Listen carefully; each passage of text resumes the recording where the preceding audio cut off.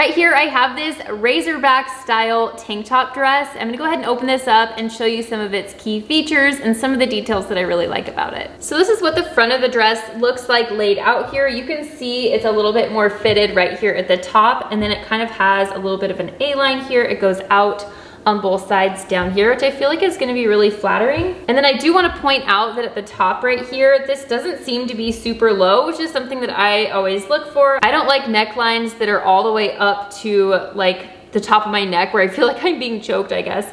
Um, but I don't like them to be so low that you're just kind of showing everything. So I do like that. I'm hoping that will look nice. And then this is that Racerback style, just where it kind of goes in on both sides. It's perfect if you're wearing a sports bra, for example, that also is that same Racerback style. I do wanna note that these armholes, they seem like a really nice size. They aren't like gaping way down where you're gonna see your undergarments right here, but they're also not so tight that you don't have like ventilation on a hot day, for example. Honestly, I love outfits that you can dress up and you can kind of put something like a jean jacket and wear some cute sandals or something like that and you can go out in this or you can do some shopping in this or something like that but you can also just be super casual wearing this at home or at the beach or for a picnic just something simple even like gardening or something like that. This seems like a comfortable dress that can be adjusted to whatever you need it for. I'm gonna go ahead and try this on in a way that I would wear it and I'll show you kind of how it looks like on my body. Yes.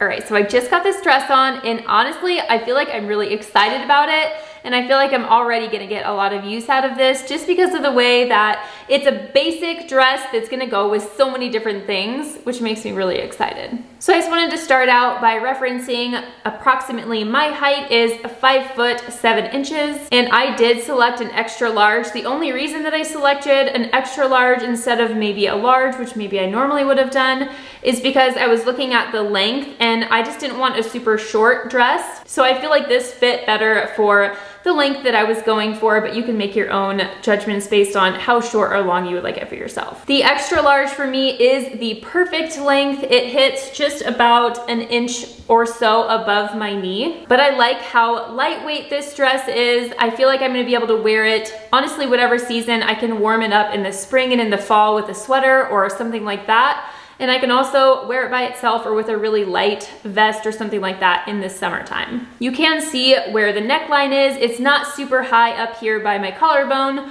but it's not super low either, which I really like. And you can see about where these straps are on my arm. I feel like that's a nice wide strap. Something that I did forget to mention earlier is that this actually does have pockets. So you can see right here, it has a pocket on both sides, which I think is really fun. And then I'll just step back so you can see about where it hits me as far as length goes.